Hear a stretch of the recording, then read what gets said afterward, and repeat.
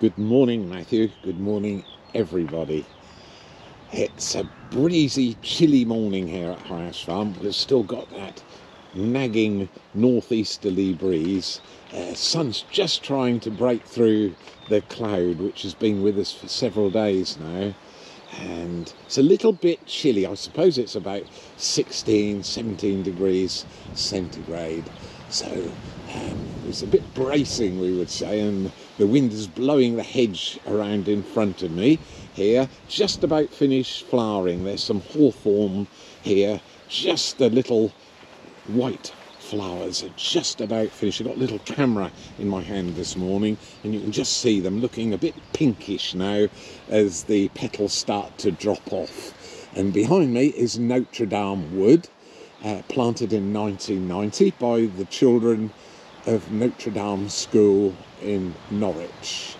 And uh, they're doing really well, the trees. One or two have died with the heat from last summer. There's a Norway spruce there, which is quite a shallow rooted tree, and uh, that's completely dead. And anyway, I've been sent a really interesting question by one of our listeners, and I'll just hold a little picture up that came with the question in front of the camera, and it's from Jane Martin, who lives just near Scarning. And she says, I was out on an early morning walk and I discovered this, and I think it's a wasp's nest. and I must admit, it does look like a very large cocoon, the same shape that wasps would build if they were building out in a tree. And there's a species of wasp which we don't see quite so much of at the moment. It's the German wasp, and they will often uh, build their paper like structure in bushes and trees, and uh, the nest gets larger and larger as summer progresses. Anyway, it's not a wasp's nest, but what I can do is show you exactly what it is because along this hedge here there's some hawthorn which I already explained some blackthorn and there's another species which this particular moth likes to lay its eggs on and the moth is called brown tail moth. There's it does have a little brown tail and the rest of the moth is quite fluffy and white and lays its eggs on this particular plant and this one here is spindle uh, is a British native plant and it's quite inconspicuous for most of the year, the plant is.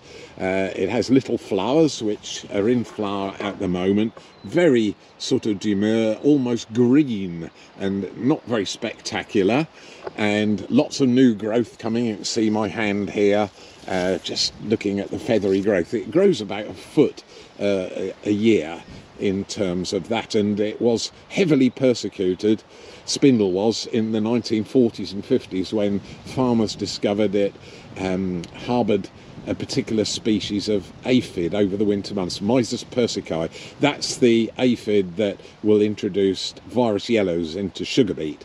Anyway, many got cut down back then, and so it became much scarcer out in the Norfolk countryside than what it was.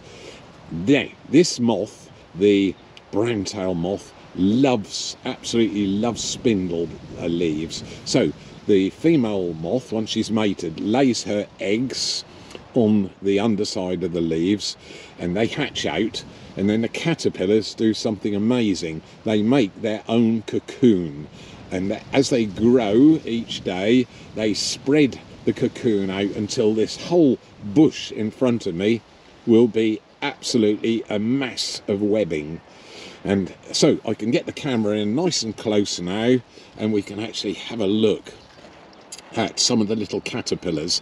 And as we're watching they're squiggling and wiggling away and they are eating the leaves of this particular plant, the spindle. So as they come out of the little cocoon, they leave some threads behind them, and so eventually you'll have a very large uh, mass of webbing, which I'm just going to open it up a little bit, clear the foliage, and you can have a real good close look at hundreds and hundreds of these little caterpillars. It's best not to touch them because they are absolutely covered in little hairs, and if those hairs get on your skin, they are quite irritating.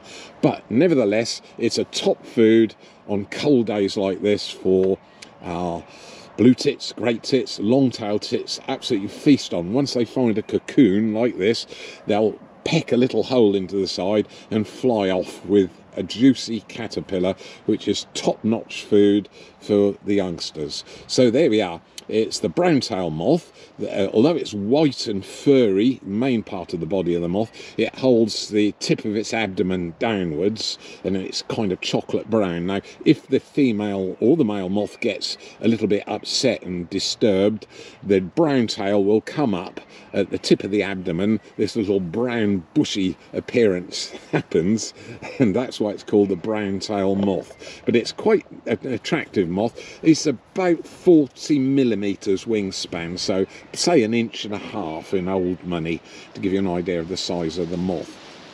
So, as you travel around the Norfolk countryside in a week or so's time, as we get towards mid June, and getting towards then, you'll see some bushes out in the Norfolk countryside, particularly blackthorn, particularly hawthorn, absolutely leafless and covered in this sort of cobwebbing style structures all over the bushes. And this bush won't have a leaf on I can promise you in about 10 days time. The caterpillars devour the whole lot.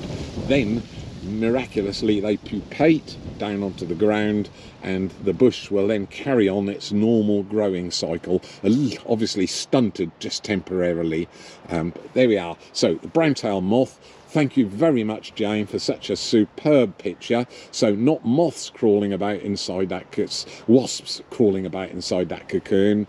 It was the brown tail moth. So there we are, the caterpillars from them. Top-notch food for all our native birds at this time. Yeah, particularly on cold mornings like this.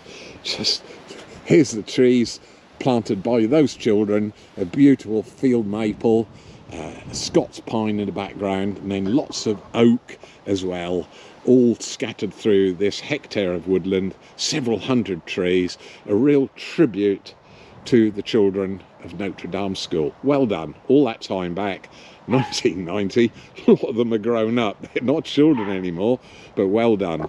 And I can hear my pesky terrier rat, don't know where he is, he's nearby somewhere he came walking in here and sat down beside me, got so fed up with me doing all this talking that I can hear him barking. So I'll go and investigate and apprehend the little rat wherever he is. You wait till I find him.